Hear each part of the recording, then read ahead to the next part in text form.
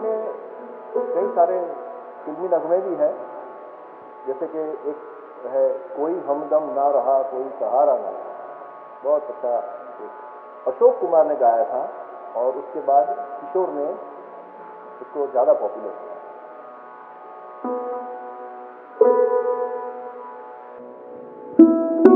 मेरो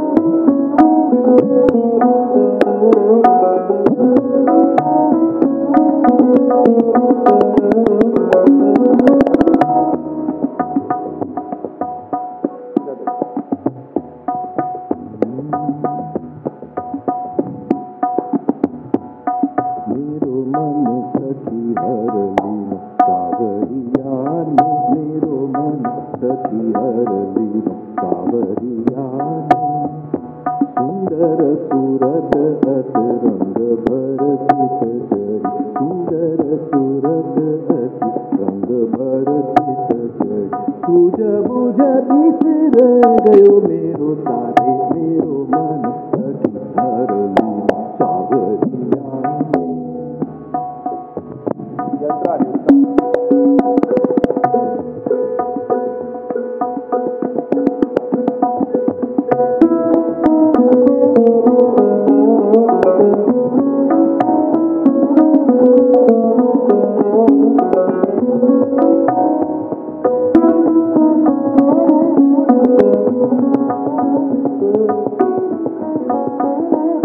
Thank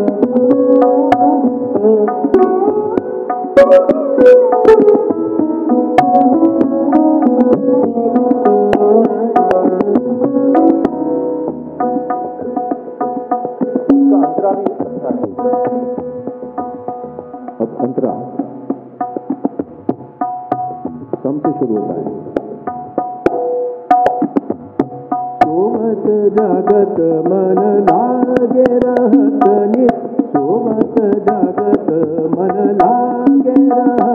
कछु नहीं मोहे अब सूझ बूझ लाज काज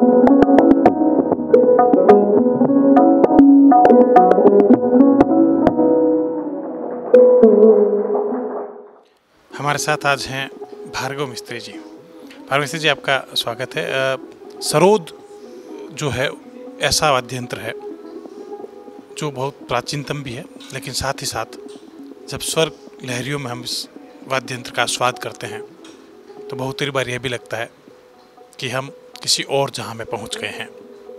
भार्गव मिस्त्री जी का सरोद वादन ऐसा ही है, जिसमें सुर वर्षा होते हुए हम लोगों को भिगो भिगो देती है। हम डूब डूब जाते हैं। और स्वरों का एक महल जो है, वो अपने तय खड़ा करते हैं। उस महल में एक एक नींव की ईंट जैसे रखी जाती है और इस तरह से तैयार होते महल को भार्गव मिस्त्री साकार करते अपने सरोदवादन से।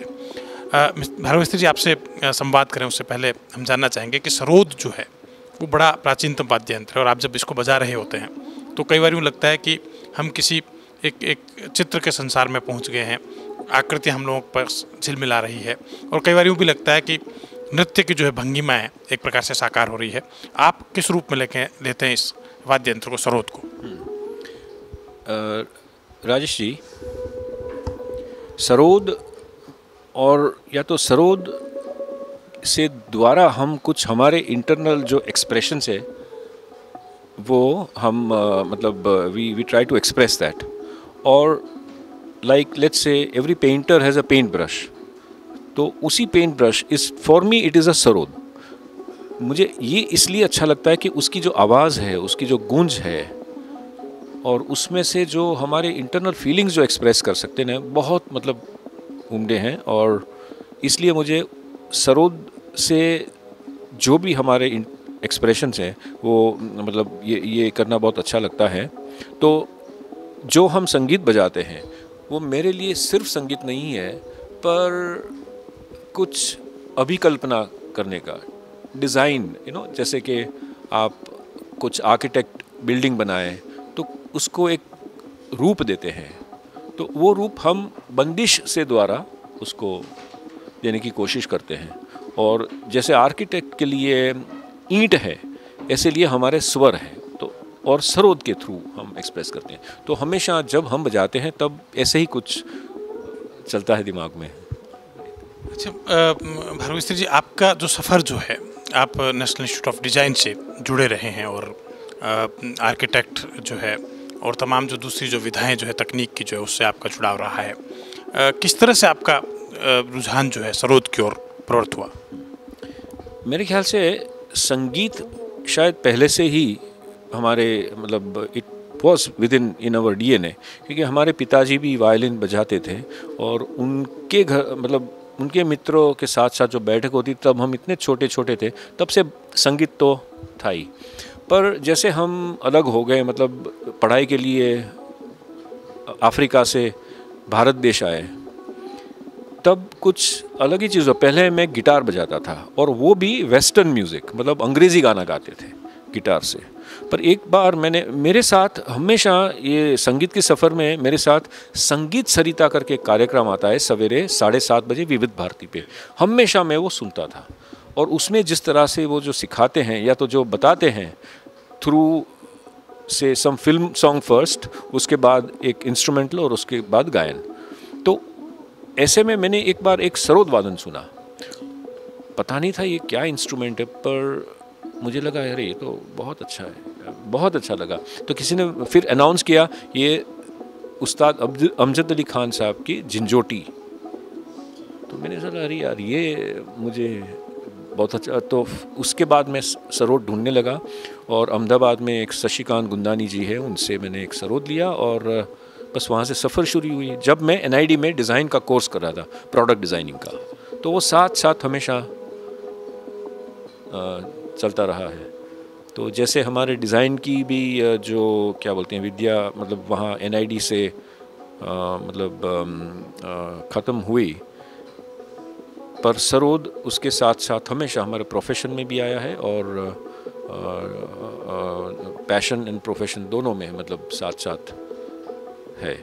सो अच्छा एक बड़ा संयोग आपके साथ यह भी है कि आपके जो पुत्र हैं जो दो ध्रुवपद जिनका नाम भी एक प्रकार से संगीत से ही आहूत है, और नीरज जो हैं, वो दोनों भी एक ताल से जुड़े हुए हैं, एक उसमें सरोद से ही जुड़े हुए हैं। तो ये बड़ा कम संयोग होता है कि पूरा परिवार जो संगीत से संबद्ध हो। इसकी भी कोई खास वजह रही है? हाँ इसमें भी एक इंटरेस्टिंग बात ये भी है कि दोनों डिज़ाइनर्स हैं। तो हम तीनों ही डिज़ाइनर्स हैं। मैं एनआईडी से और ये द्रुपद डोमस इटली से और नीरज एमआईटी पुणे से। Product design interaction design. पर संगीत साथ में है। अभी द्रुपद की बात यह है कि वो जब when he was in the womb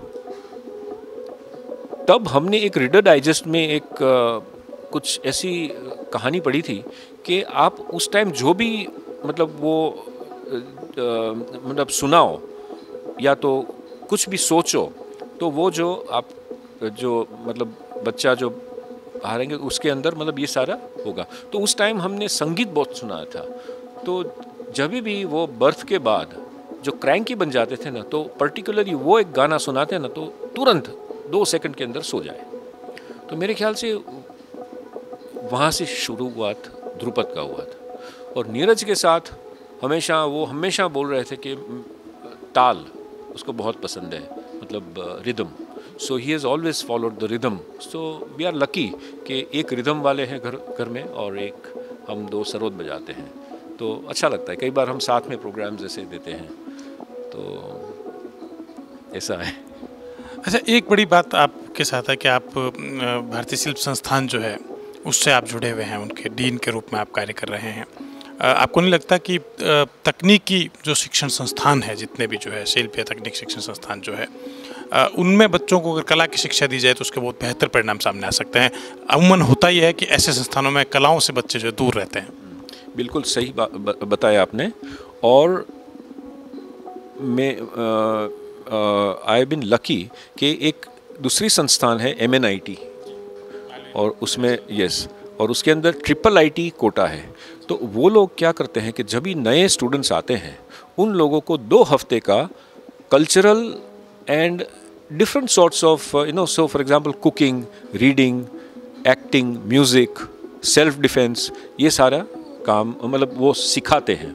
उसके बाद इंजीनियरिंग में तो उस टाइम हमें भी बुलाया गया था संगीत का शिक्षण देने के लिए। तो वहाँ पे हमने प्रोग्राम भी किया लेक्चर डेमोन्स्ट्रेशन भी किए और उसके बाद एक डिज़ाइन का कोर्स शुरू किया। तो अभी वो अभी अभी इस साल से ये दूसरा मतलब सेकंड बैच आएगा।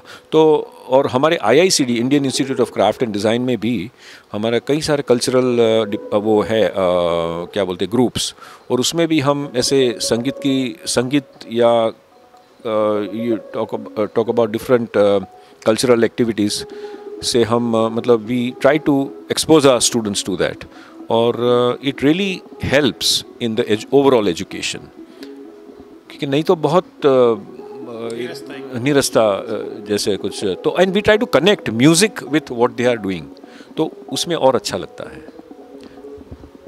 भार्गव स्त्री जी का सरोज जब सुनते हैं तो लगता है कि हम आ, संगीत से एक प्रकार से सारा बोर पूरी तरह से हो जाते हैं। मिश्र जी आपने एक बात कही थी अभी सरोद के संदर्भ में कि हम लोग डिज़ाइन की तरह जैसे बहुत सारी चीज़ें आकृतियाँ जो है सरोद के ज़रिए खड़ी कर देते हैं। भाव भंगिमाएँ जो एक प्रकार से पूर्ण रूप से जो आप अपने समक्ष उद्घाटित हो जाती है। सरोद जो है एक शास्त्रीय वाद्य यंत्र है और अभी जो नई पीढ़ी जो है उसमें शास्त्रीयता से बहुत कुछ दूर भी है। तो नई पीढ़ी को शास्त्रीयता के करीब लाने के लिए हमने हमारी जो परंपरा है उनसे जोड़ने के लिए किस तरह के कुछ आयोजन की अपेक्षा अपेक्षा आप करते हैं? हाँ वो भी आ, आज आ, हमने कई बार ऐसे प्रोग्राम्स किए हैं जहाँ बहुत मतलब यंग क्राउड आते हैं। फॉर एग्ज़ाम्पल कॉलेज में प्रोग्राम्स करते हैं।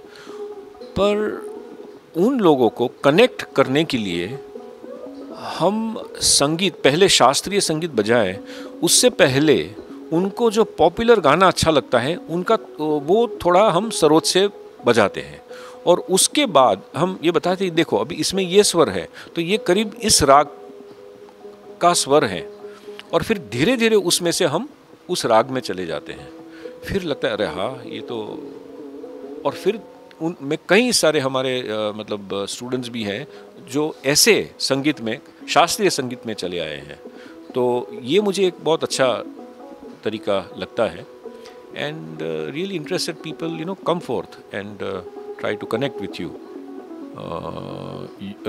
in the youth पर फिर भी आजकल ज़माना भी ऐसा है कि ये यूट्यूब और फेसबुक में इतने सारा मतलब सो मेनी थिंग्स कम इन अलग अलग तरह की।